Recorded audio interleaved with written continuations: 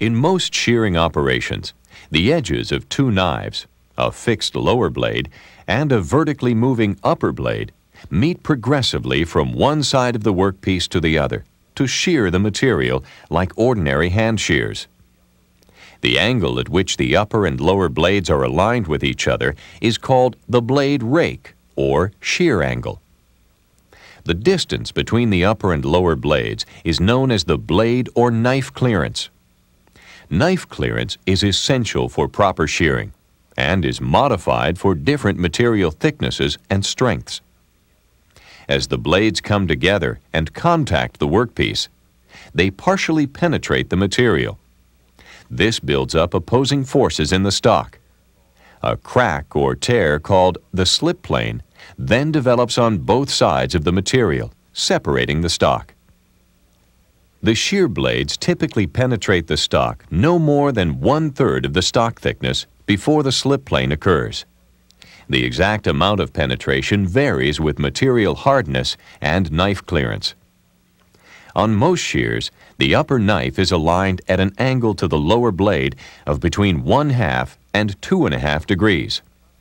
This angle helps concentrate the shearing force in the exact area of blade engagement between the two knives and starts the fracture on a straight line parallel to the surface of the knives. This inclination also causes the upper knife to move away from the lower knife during the shear.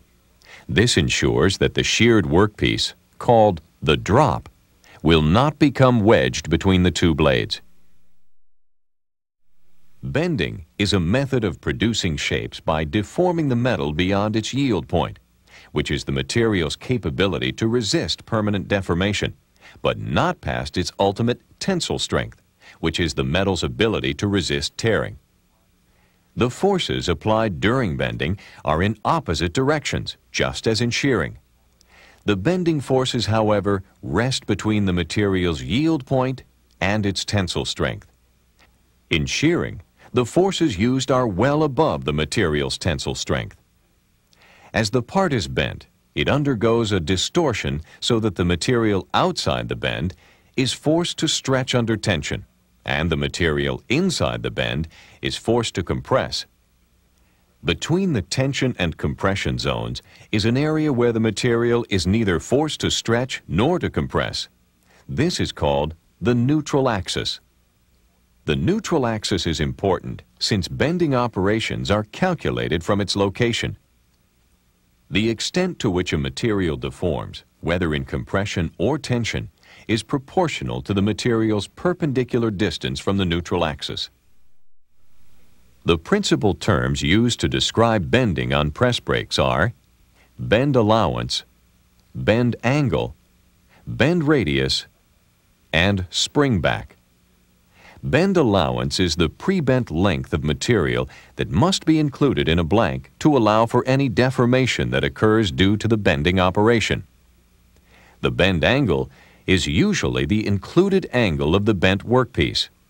It can also refer to the supplementary angle formed by the two bent tangent lines. The bend radius is a tangent line where the flat, straight section of the part stops and the radius of the bend begins. Springback is the tendency of the material to return to its original form. Springback typically ranges from 2 to 4 degrees.